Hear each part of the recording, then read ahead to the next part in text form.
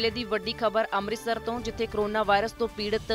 ਦਰਬਾਰ ਸਾਹਿਬ ਦੇ ਸਾਬਕਾ ਹਜੂਰੀ ਰਾਗੀ ਨਿਰਮਲ ਸਿੰਘ ਦਾ ਦੇਹਾਂਤ ਹੋ ਗਿਆ। ਦੱਸਦੀ ਕਿ ਬੀਤੇ ਕੱਲ ਹੀ ਨਿਰਮਲ ਸਿੰਘ ਖਾਲਸਾ ਦੀ ਕਰੋਨਾ ਵਾਇਰਸ ਦੀ ਰਿਪੋਰਟ ਪੋਜ਼ਿਟਿਵ ਆਈ ਸੀ, ਜਿਸ ਤੋਂ ਬਾਅਦ ਉਹਨਾਂ ਨੂੰ ਅੰਮ੍ਰਿਤਸਰ ਦੇ ਗੁਰੂ ਨਾਨਕ ਹਸਪਤਾਲ ਦੇ ਵਿੱਚ ਆਈਸੋਲੇਟ ਕੀਤਾ ਗਿਆ ਸੀ।